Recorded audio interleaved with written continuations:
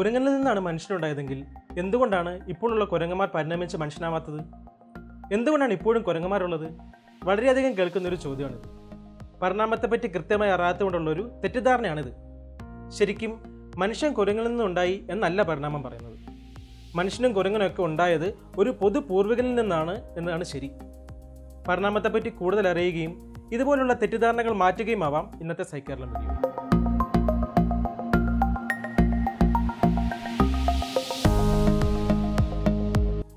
പരിണാമത്തെപ്പറ്റി പഠിക്കുമ്പോൾ നമ്മൾ പുസ്തകങ്ങളിൽ കാണുന്ന ഒരു ചിത്രമാണിത്.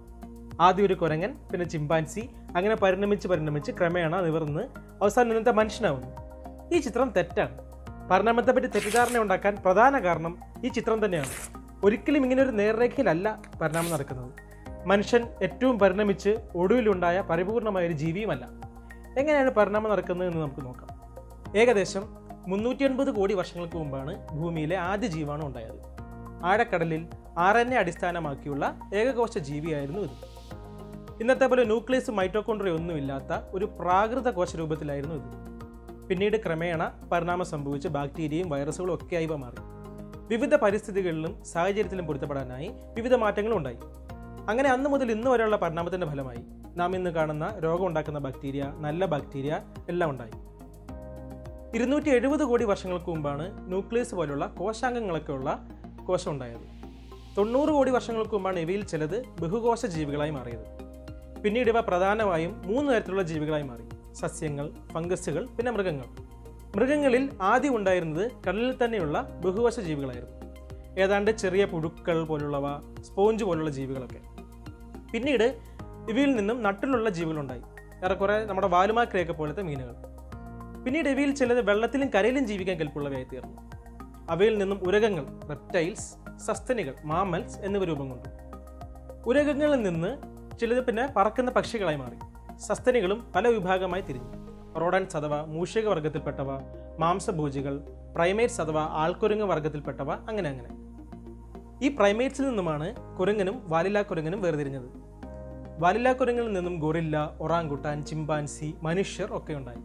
ഇപ്പോൾ മനസ്സിലായില്ലേ? കുരങ്ങനിൽ നിന്നും മനുഷ്യനുണ്ടാവുകയല്ല കുരങ്ങനും മനുഷ്യനും ഒക്കെ ഉണ്ടായത് ഒരു പൊതുപൂർവികൻ അഥവാ കോമൺ ആൻസെസ്റ്ററിൽ നിന്നുമാണ്. അറുപത് ലക്ഷം വർഷങ്ങൾക്ക് മുമ്പാണ് മനുഷ്യരുണ്ടായത് ഇപ്പോൾ കാണുന്ന ഹോമോസാപ്പിയൻസ് വിഭാഗമായി മാറിയത് ഒരു ലക്ഷം വർഷം മുമ്പാണ്. ഇതൊക്കെ നടക്കുമ്പോൾ സസ്യങ്ങളും പരിണമിക്കുന്നുണ്ട്. ആദ്യം സൂര്യപ്രകാശം ഉപയോഗിച്ച് ഊർജം ഉണ്ടാക്കാൻ കഴിവുള്ള ബാക്ടീരിയ ആയിരുന്നു. പിന്നീട് വെള്ളത്തിലെ ആൾഗയുണ്ടായി അമ്പത് കോടി വർഷങ്ങൾക്ക് മുമ്പാണ് കരയിൽ സസ്യങ്ങൾ എത്തുന്നത്. പിന്നീട് പൂക്കളും കായ്കളും ഉള്ള ചെടികളും പുല്ലും ഒക്കെയായി ഇവ മാറി. ക്രമേണ വലിയ മരങ്ങളും ഉണ്ടായി പരിണാമം ഒരു ദിശയിൽ മാത്രം നടക്കുന്ന പ്രതിഭാസമല്ല. എല്ലാ കാലത്തും എല്ലാ ജീവജാലങ്ങളും പരിണമിക്കുന്നുണ്ട്. ബാക്ടീരിയയും സസ്യങ്ങളും എല്ലാ ജന്തുജാലങ്ങളും വിവിധ സാഹചര്യങ്ങൾക്കും പരിസ്ഥിതികൾക്കും അനുസരിച്ച് പരിണമിച്ചാണ് നാം ഇന്ന് കാണുന്ന രീതിയിലേക്ക് എത്തി നിൽക്കുന്നത്. മാറുന്ന പ്രകൃതിക്ക് അനുയോജ്യരായ ജീവികൾ നിലനിൽക്കുകയും പ്രകൃതിക്ക് അനുസരിച്ച് പരിണമിക്കാൻ കഴിയാത്തവ വംശനാശം വന്നു പോവുകയും ചെയ്യുന്നു. ഇങ്ങനെ പരിണമിച്ച് പുറത്തേക്ക് വളരുമ്പോൾ ഉള്ളിലുള്ളവയ്ക്ക് വംശനാശം സംഭവിക്കുന്നു. നമ്മൾ ഇന്ന് കാണുന്ന ജീവജാലങ്ങളിൽ ഭൂരിഭാഗവും അവയുടെ വിഭാഗത്തിൽ പരിണാമത്തിന്റെ ഏറ്റവും പുതിയ ലെവലിലെത്തി നിൽക്കുന്നവയാണ്. മനുഷ്യർ പരിണാമത്തിന്റെ കണ്ണിൽ മറ്റേത് മൃഗത്തെയോ സസ്യത്തെക്കാലെയോ മുൻപിലല്ല. പരിണാമത്തിന്റെ കണ്ണിലൂടെ നോക്കുമ്പോൾ ഏറ്റവും ശക്തിയുള്ള ജീവി അല്ല ഏറ്റവും മികച്ച ജീവി. ഏറ്റവും ബുദ്ധിയുള്ളതുമല്ല. എൻവയോൺമെന്റിനോട് ഏറ്റവും പൊരുത്തപ്പെടുന്നവയാണ് ഏറ്റവും മികച്ചത്. പരിണാമത്തെ ഒരു നേർരേഖയായി കാണാൻ കഴിയില്ല. കൂടുതൽ അനുയോജ്യം വിവിധ ശാഖകളുള്ള ഒരു മരമാണ്. ഇവല്യൂഷണറി ട്രീ പരിണാമ വൃക്ഷം. എല്ലാ ജീവജാലങ്ങളും പരസ്പരം ഇതിന്റെ ശാഖകളാൽ ബന്ധപ്പെട്ടിരിക്കുന്നു. അതിനെ പിന്തുടർന്ന് പുറകോട്ട് പോയാൽ എല്ലാം ഉണ്ടായത് ഒരു പൊതുപൂർവികളിൽ നിന്ന് തന്നെ. ഇപ്പോൾ ചോദിക്കാം ഇതൊക്കെ നമുക്കെങ്ങനെ അറിയാം? എന്താണ് ഈ പറഞ്ഞതിനൊക്കെ തെളിവുകൾ? പ്രധാന തെളിവുകളിൽ ഒന്നാണ് ഫോസിലുകൾ. മണ്ണിനടിയിൽ നിന്നും പാറകൾക്കുള്ളിൽ നിന്നും മഞ്ഞിനുള്ളിൽ നിന്നുമൊക്കെ പണ്ട് ജീവിച്ചിരുന്ന ജീവികളുടെ അവശിഷ്ടങ്ങൾ നമുക്ക് കിട്ടാം. ചിലപ്പോൾ ഒരു എല്ലാവാം അസ്ഥികൂടമാവാം അല്ലെങ്കിൽ മഞ്ഞിൽ സൂക്ഷിക്കപ്പെട്ട ശവശരീരമാവാം. ഈ ഫോസിലുകളുടെ പഴക്കം കണ്ടെത്താൻ കാർബൺ ഡേറ്റിംഗ് പോലുള്ള സാങ്കേതിക വിദ്യകളുണ്ട്. അപ്പോൾ ഈ പരിണാമ വൃക്ഷത്തിന്റെ പല ഘട്ടങ്ങളിലുള്ള ജീവികളുടെയും ഫോസിലുകൾ കണ്ടെത്തി അവയെ പറ്റി പഠിക്കാൻ കഴിയും. അങ്ങനെയാണ് ഈ വൃക്ഷത്തിന്റെ പല ഘട്ടങ്ങളും അവയുടെ പഴക്കവും ഒക്കെ മനസ്സിലാക്കുന്നത്.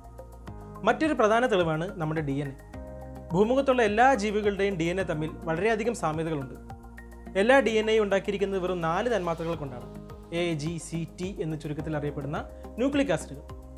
പരിണാമ വൃക്ഷത്തിൽ അടുത്തടുത്തുള്ള ജീവികൾ തമ്മിൽ ഡി എൻ എയിൽ കൂടുതൽ സാമ്യത ഉണ്ടാവാം ഈ ഡി എൻ എയിലുള്ള ഇൻഫർമേഷൻ ഉപയോഗിച്ചുണ്ടാക്കുന്ന പ്രോട്ടീൻസും വിവിധ ജീവികളിൽ സാമ്യതയുള്ളവയാണ് മാത്രവുമല്ല പല കാലങ്ങളിൽ നിന്നുമുള്ള ഫോസിലുകളിൽ നിന്നും ലഭിക്കുന്ന ഡി എൻ എ പഠനത്തിന് അർഹമാക്കിയിട്ടുണ്ട്. അതിലൂടെ ഓരോരോ ഘട്ടങ്ങളിലും വരുന്ന മാറ്റങ്ങളെക്കുറിച്ചും സാമ്യതകളെക്കുറിച്ചും അറിയാൻ കഴിയും. ഇതെല്ലാം പരിണാമ സിദ്ധാന്തത്തിന്റെ തെളിവുകളാണ്. ഇതല്ലാതെ നമുക്ക് നേരിട്ട് അറിയാവുന്ന തെളിവാണ് പല ജീവികൾ തമ്മിൽ രൂപത്തിലും ഘടനയിലും ഒക്കെയുള്ള സാമ്യത. നമ്മുടെ ശരീരത്തിൽ തന്നെ പരിണാമത്തിനുള്ള തെളിവുകളുണ്ട്. അതിലൊന്നാണ് നമുക്ക് രോമാഞ്ചം വരുന്നത്. ദേഹം നിറയെ രോമമുള്ള മൃഗങ്ങൾ തണുപ്പിൽ നിന്ന് രക്ഷപ്പെടാനും മറ്റു മൃഗങ്ങളെ പീഡിപ്പിക്കാൻ സ്വയം വലുതായി തോന്നിപ്പിക്കാനുമാണ് ഇത് ഉപയോഗിക്കുന്നത്. മനുഷ്യന് രോമം നഷ്ടമായെങ്കിലും രോമാഞ്ചം ഉണ്ടാക്കുന്ന മസിലുകൾ ഇപ്പോഴും ഉണ്ട്. നമ്മൾ വന്ന വഴി ഓർമ്മപ്പെടുത്തിക്കൊണ്ട് ഇതേപോലെ തന്നെയാണ് ചെവിയിലെ മസിൽ. മൃഗങ്ങൾ ശബ്ദം വരുന്ന ദിശ തിരിച്ചറിയാൻ ഉപയോ ഇത് ഉപയോഗിക്കുന്നു. നമുക്ക് ആ ശേഷി നഷ്ടപ്പെട്ടു. എങ്കിലും ഈ മസിൽസ് ഇപ്പോഴും ഉണ്ട്. ചിലർക്കൊക്കെ ചെവി അനക്കാനും കഴിയും. മറ്റൊരു ഉദാഹരണം ഭ്രൂണാവസ്ഥയിൽ മനുഷ്യന് വിവിധ ജന്തുക്കളുമായുള്ള സമാനതകളാണ്. ഇതേപോലെ നിരവധി ഉദാഹരണങ്ങളുണ്ട് പരിണാമത്തിന് തെളിവുകളായി നമ്മുടെ തന്നെ ശരീരത്തിൽ. ഭൂമിയിലെ ജീവന്റെ പരിണാമവും അതിന് നമുക്കുള്ള തെളിവുകളും മനസ്സിലാക്കിയല്ലോ. എന്നാൽ എങ്ങനെയാണ് പരിണാമം സംഭവിക്കുന്നത്? എങ്ങനെയാണ് പുതിയ തരം ജീവികൾ ഉണ്ടാകുന്നത്? അത് എക്സ്പ്ലെയിൻ ചെയ്യുന്നതാണ് ചാൾസ് ഡാർവിന്റെ പരിണാമ സിദ്ധാന്തം. അതിലേക്ക് കടക്കും മുമ്പ് ഒരു കാര്യം. ഡാർവിന്റെ ഇവല്യൂഷൻ വെറും തിയറി മാത്രമാണ് സത്യമല്ല എന്ന് പറയുന്ന കുറച്ച് കേമന്മാരുണ്ട്. സയന്റിഫിക് തിയറി എന്താണെന്ന് അറിയാത്തത് കൊണ്ടുള്ള തെറ്റിദ്ധാരണയാണിത്. പരീക്ഷണങ്ങളിലൂടെയും നിരീക്ഷണങ്ങളിലൂടെയും തെളിയിക്കാൻ പറ്റുന്നവയെ മാത്രമേ സയന്റിഫിക് തിയറി ശാസ്ത്രീയ സിദ്ധാന്തമായി അംഗീകരിക്കുകയുള്ളൂ. അങ്ങനെ ഒന്നാണ് ഡാർവിന്റെ പരിണാമ സിദ്ധാന്തവും.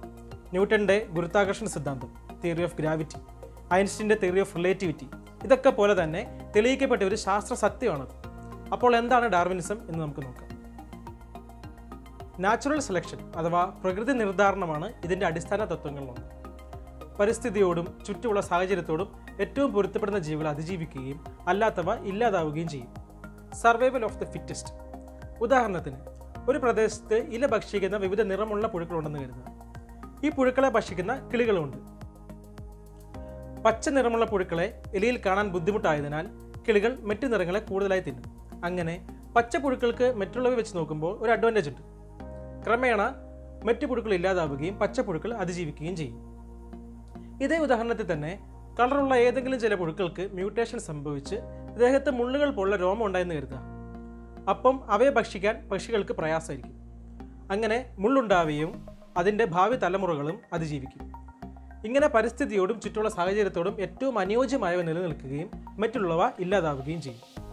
ശത്രുക്കളിൽ നിന്ന് രക്ഷപ്പെട്ടാൽ മാത്രം പോരാ. ചത്തുപോകുന്നതിന് മുൻപേ തന്നെപ്പോലുള്ള കൂടുതൽ പേരെ ഉണ്ടാക്കിയാലേ ഒരു ജീവിവർഗത്തിന് നിലനിൽക്കാൻ സാധിക്കുകയുള്ളൂ. അതുകൊണ്ട് തന്നെ പ്രത്യുൽപാദന ശേഷിയുള്ള ജീവികൾ മാത്രമേ കാലഹരണപ്പെട്ടു പോകാതെ അവശേഷിക്കൂ. കൂടുതൽ ഫിറ്റായ കുട്ടികളെ ഉണ്ടാക്കാൻ ജീവികളിൽ പലതരത്തിലുള്ള ടെക്നിക്കുകൾ ഉള്ളതായി കണ്ടുപിടിച്ചിട്ടുണ്ട്. അതിലൊന്നാണ് സെക്ഷൽ സെലക്ഷൻ ഉദാഹരണത്തിന് നല്ല വർണങ്ങളുള്ള ചിറകളോടുള്ള ഒരു ആൺപക്ഷിയോട് പെൺപക്ഷികൾ ആകർഷിതരാകും. അങ്ങനെ കൂടുതൽ വർണമുള്ള ആൺപക്ഷിക്ക് കൂടുതൽ കുഞ്ഞുങ്ങളുണ്ടാകും. ഈ കുഞ്ഞുങ്ങൾക്കും ഈ നിറങ്ങൾ ലഭിക്കും. അങ്ങനെ ഒരുപാട് തലമുറകൾ കഴിയുമ്പോൾ ഈ വർഗത്തിൽ വർണ ചിറകുകളുള്ള പക്ഷികൾ മാത്രമാകും. വായിക്കുകയും ആലോചിക്കുകയും ചെയ്താൽ സിമ്പിളായി മനസ്സിലാക്കാവുന്ന ഇത്തരം തത്വങ്ങൾ അടങ്ങിയതാണ് ഡാർവിന്റെ പരിണാമ സിദ്ധാന്തം.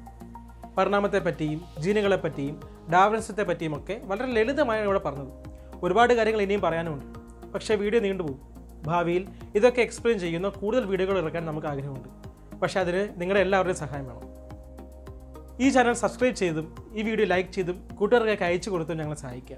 എങ്കിൽ മാത്രമേ ഈ ചാനൽ മുന്നോട്ട് കൊണ്ടുപോകാൻ കഴിയുള്ളൂ കൂടാതെ ശാസ്ത്ര സംഗീത രംഗത്തെ പുതുവാർത്തകൾ അറിയാനായി ഞങ്ങളുടെ website W W W dot സൈക്കാലം dot com സന്ദർശിക്കാം ഫേസ്ബുക്കിലും ഇൻസ്റ്റാഗ്രാമിലും ട്വിറ്ററിലും ഒക്കെ ഞങ്ങളെ ഫോളോ ചെയ്യാം ലിങ്കുകൾ ഡിസ്ക്രിപ്ഷനിൽ ഞങ്ങൾ കൊടുത്തിട്ടുണ്ട്. നിങ്ങളുടെ അഭിപ്രായങ്ങളും നിർദ്ദേശങ്ങളും ഒക്കെ കമൻസായി താഴെ രേഖപ്പെടുത്താം. അപ്പോൾ നിങ്ങളുടെ സപ്പോർട്ട് പ്രതീക്ഷിച്ചുകൊണ്ട് മറ്റൊരു സയൻസ് ആൻഡ് ടെക്നോളജി വീഡിയോയിൽ കാണും വരെ ടീം സൈക്കിളിനോ സൈനിങ് ഓഫ്